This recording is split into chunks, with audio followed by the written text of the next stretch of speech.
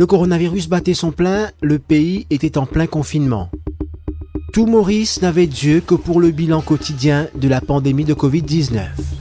Chers compatriotes, nous pouvons étendre le couvre sanitaire jusqu'à le 1er juin pour éviter qu'il y ait une deuxième vague de contamination. Pendant ce temps, au cœur de ce faubourg de la capitale, Covid ou pas, ça ne chôme pas.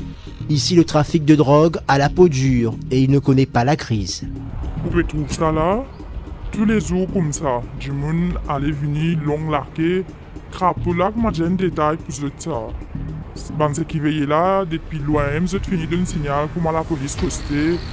Et ça n'a pas fait non, pas son non, pour ça. La drogue là, c'est qui est même. File d'attente, guetteur, se procurer sa dose quotidienne est un véritable jeu d'enfant. Pour cette habitante du quartier, la situation est alarmante, le rajeunissement du trafic inquiétant. Tout le monde envie d'un patron, des petits pieds, des enfants, peut trop ça, la vie, la, la vie là, jolie, je peux trouver leurs enfants facile. Pour eux, pénal, pénal besoin pas l'école, pénal besoin de pour, pour l'apprendre aujourd'hui, jour, capable de la drogue, casse, amène belle la vie, roule le tour, mettre les dans l'eau, platine, motocyclette, c'est ça la ville, c'est qui, qui, qui se fait rôder, qui se. Ce lieu dit Pocosson, c'est la plaque tournante du trafic. Des consommateurs viennent des quatre coins du pays. Chaque quartier, ses cartels et ses gangs. À chaque descente policière, la grande place est déserte. Mais dix minutes plus tard, rebelote, c'est un véritable business lucratif. Il est bien rodé, la machinerie bien huilée. Il y a les vendeurs, les passeurs, la sécurité et celui qui tient la bourse. Au final, ce trafic fait vivre tout le quartier indirectement. Il y a ces femmes qui ont arrêté le travail à l'usine, pouvaient crapaud, comprenez par là être le porte-voix du quartier pour annoncer l'arrivée de la police. Les points de vente se sont multipliés ces derniers temps. Petit jockey devenu grand patron. À chacun sa clientèle, à chacun sa méthode pour écouler ses produits. Ce trafiquant compte des étudiants parmi ses clients. Il met en garde également contre un nouveau type de drogue synthétique disponible sur le marché local. Depuis quelques semaines, il y a eu déjà plusieurs morts.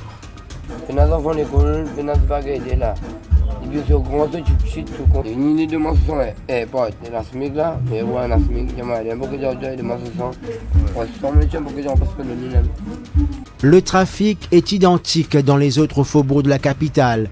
Du chemin Trésor à Baie du Tombeau en passant par le centre commercial Sheridan de la Tour Koenig ou encore à Sugar Planters à Pointe-aux-Sables.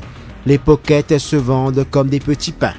Par moments, la police arrive à remonter la filière, des fouilles, des arrestations. Souvent, c'est un maillon de la chaîne qui est arrêté. On n'arrive jamais jusqu'au trafiquant, dit le baron. Lui, il sera épargné, son identité protégée. Si la police est souvent montrée du doigt et accusée de fermer les yeux sur les gros poissons, les officiers de là-dessous disent connaître ces points de vente de drogue. Aller sur place relève parfois d'un véritable défi. Aujourd'hui, les dealers ne lésinent pas sur les moyens pour protéger leur business. Des caméras sont installées, des drones utilisés pour suivre les mouvements de la police. Les caïds ont toujours une longueur d'avance sur la police, affirme cet agent de la brigade des stupes que nous avons rencontré un cartel en, euh, en 10 minutes. Et je passe, par exemple, pour dire pour un cartel, je passe de commande en commun. Auparavant, chacun qui fait passe commande, je fais ce de la drogue, individuellement, on vient faire du amener, chacun tout. Maintenant, nous trouvons que je passe commande en commun.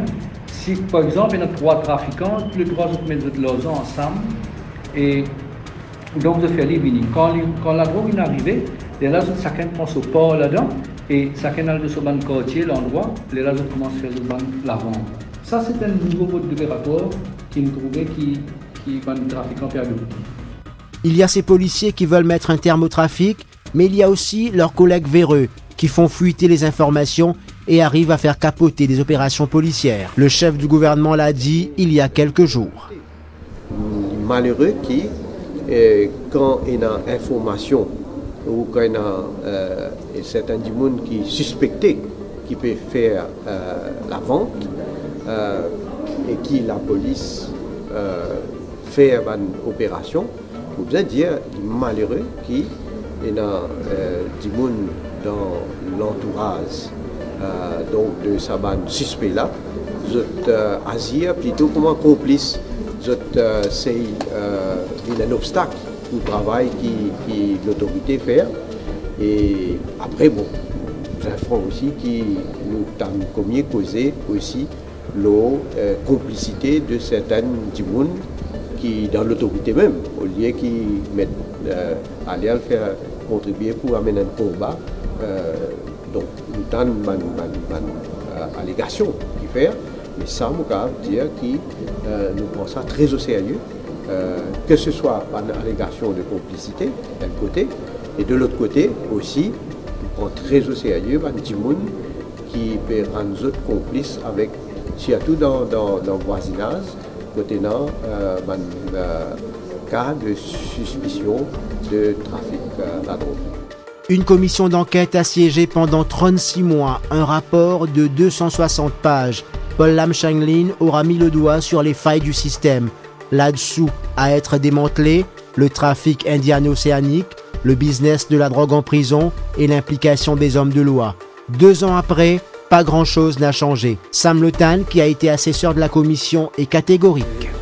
Ce qui m'a un peu surpris, c'est que le Coast s'est contenté de surveiller les passes. Mais j'allais dire au directeur que ces gens-là, ils ont des canaux pneumatiques, ils sont très puissants et qui, attendent la, marée haute pour traverser même sur les récifs, sur les coraux. Donc, nous, nous devons dévancer, mais c'est la mafia qui nous dévance, qui improvise toutes sortes de façons pour faire pénétrer la drogue. la, première action, c'est barrer la route à l'introduction de la drogue sur territoire. Si malgré cela, je sais que même dans les, les, pays qui ont des moyens énormes, ils arrivent à faire pénétrer de la drogue, les États-Unis par exemple, avec tous les moyens, toutes les ressources humaines qu'ils ont. Et, la mafia continue à faire pénétrer la drogue le territoire, mais il faut quand même être très vigilant, avant-gardiste. Le trafic de drogue est aujourd'hui une économie parallèle.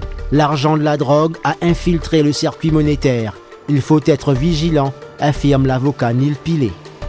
Ah ben, encore une fois, il faut renforcer peut-être la surveillance, parce que de nos jours, l'argent de la drogue, il est bougé dans une fraction de seconde à plusieurs endroits dans le monde et euh, il faut savoir suivre. Évidemment, encore une fois, nous sommes une petite île perdue au milieu de l'océan Indien. Donc on, on compte beaucoup sur l'aide de grands pays.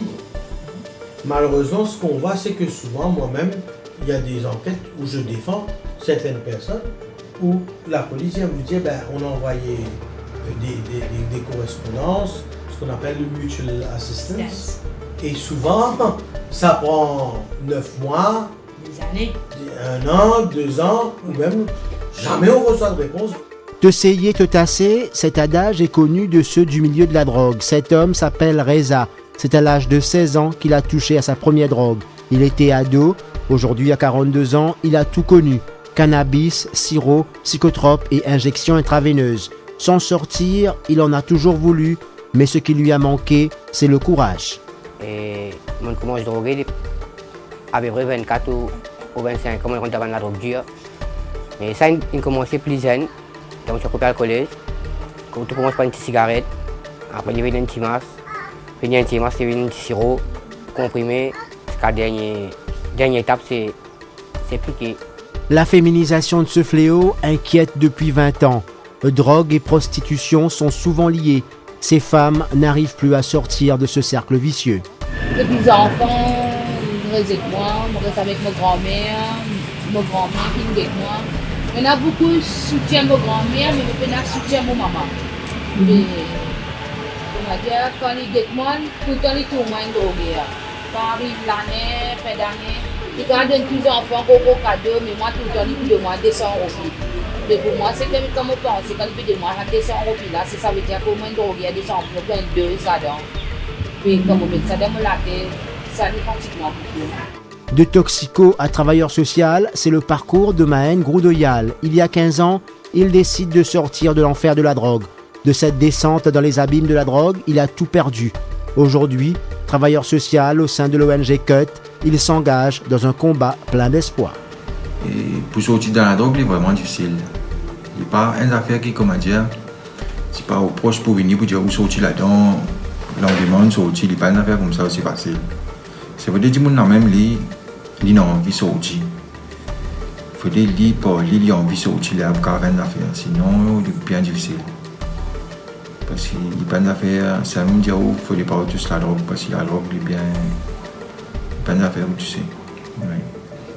Franchir le pas pour s'en sortir n'est pas une mince affaire. Il faut s'armer de courage et de patience. Aujourd'hui, les centres de désintoxication abattent un travail colossal. À ce jour, le centre Nénuphar à Montagne-Longue a accompagné plus de 150 garçons victimes, tandis que les filles victimes de la drogue sont elles prises en charge par des ONG avec lesquelles collabore le ministère de la Santé. Les traitements ambulatoires se font dans les unités d'addictologie des hôpitaux.